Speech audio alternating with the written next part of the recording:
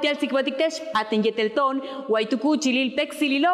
Canal 13, Yucatán. Así inició la primera emisión del noticiero en lengua maya en Canal 13 Yucatán el pasado 25 de enero, el cual ha dado la vuelta al Estado y al país ante una singular imagen. La conductora Yasmín Novelo salió al aire con su bebé en brazos. Este acto generó comentarios positivos tanto para la conductora como para Canal 13 por tener empatía y apoyar la maternidad del personal. Si es algo que no me esperaba, es eh, creo una de las situaciones que por las que pasa cualquier mamá. Mi caso no es único, mi caso no es especial, simplemente se hizo viral por la naturaleza del, del trabajo que es precisamente medios de comunicación.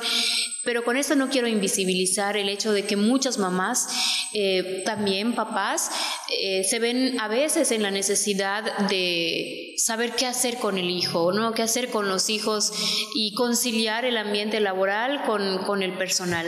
Jasmine resaltó que no esperaba que el primer noticiero se volviera viral. Sin embargo, esto visibiliza que la profesión no está peleada con la maternidad. Pareciera que son dos ámbitos opuestos. Si quieres ser exitosa, si quieres tener un trabajo, pareciera que tienes que renunciar a la maternidad. Y por otra parte, si quieres ser buena mamá, pareciera que tienes que renunciar a todo lo que tenga que ver con el ámbito laboral. Y esto no debería ser así. Tendríamos que poder contar con una red de apoyo que involucre no solamente a nuestros familiares, sino también a los contactos profesionales, a las redes profesionales, porque criar a una niña, a un niño, es solamente, no es solamente responsabilidad de los papás, es responsabilidad directa de los padres, claro que sí, de quienes deciden tener hijos, pero toda la sociedad es quien debe sentirse responsable por, por crecer a la infancia, que al final de cuentas va a ser esta sociedad del futuro de adultos que van a reflejar si fueron bien recibidos con amor o fueron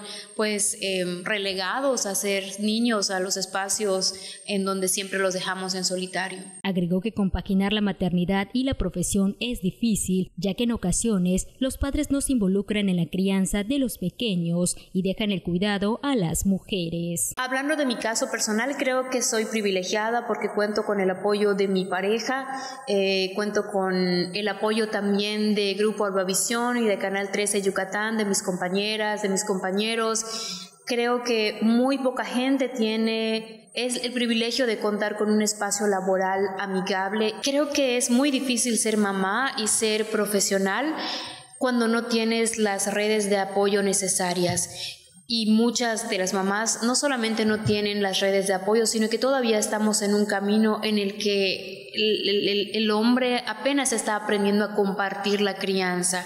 No es mi caso, pero sé que muchas personas tienen que pelear, tienen que forzar la situación para que los varones tengan el mismo compromiso, la misma responsabilidad y la misma sensibilidad que las mujeres. No es que las mujeres seamos buenas en el cuidado por naturaleza, sino que lo hemos hecho, nos hemos obligado a hacerlo porque no hay de otra.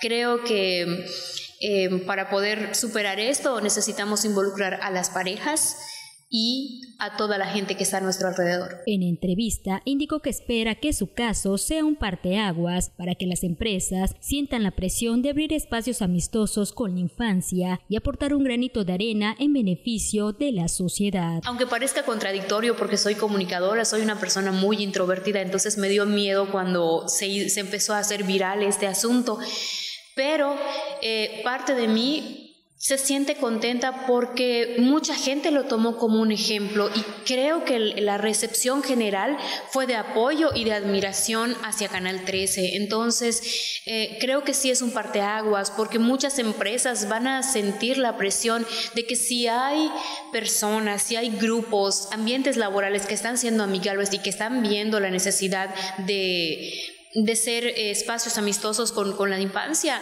creo que también van a empezar a pensar en cuál es el papel y cuál es el granito de arena que pueden aportar a esta sociedad también. Yasmín dio a conocer la historia que la llevó a salir con su pequeña al aire e informar a los yucatecos sobre lo acontecido en la región. Y generalmente tenemos a una persona que nos ayuda con la bebé porque mi esposo trabaja y yo también.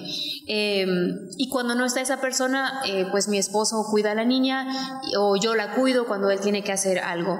Pero en esa ocasión ocasión nos quedamos sin quien la cuide. Él estaba muy enfermo de esas enfermedades que te dejan tumbado y a mí me daba mucho miedo dejar a mi hija eh, con una persona en esas condiciones em, y, y no sabía qué hacer. Entonces pues agarré el taxi y dije, vámonos al canal a ver qué va a pasar. Si, si la cuida, si se queda con alguien, pues bien. Y si no, pues hacemos las noticias juntas.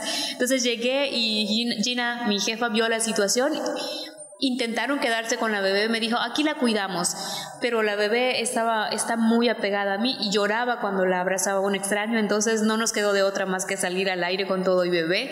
Y afortunadamente se portó bien y cuando estaba a punto de llorar estaban los compañeros ahí apoyando, haciéndole caras y haciéndole mimas, mimos para que sonriera y no, no pasó a más. Entonces, pues salió el noticiero ese día. Hizo un llamado a las empresas a crear vínculos con sus trabajadores, garantizando espacios seguros para los infantes a fin de que la maternidad no sea una limitante laboral como históricamente se ha considerado. Cuando un empleado o una empleada siente que es valorado por su empresa, ese, ese empleado esa empleada se compromete mucho más. Entonces creo que las empresas podrían apoyar más a las mamás, tendrían, tienen que apoyar más a las mamás, tanto, por ética, por, eh, por humanidad, pero también Em, por, por, los derechos también de las madres trabajadoras. Y, bueno, al final de cuentas, cuando creas este vínculo con, con tu empresa que te apoya, pues tú también apoyas a la empresa. Informó para Noti 13 Yucatán con imágenes de Gerardo Chan, Beatriz Medina.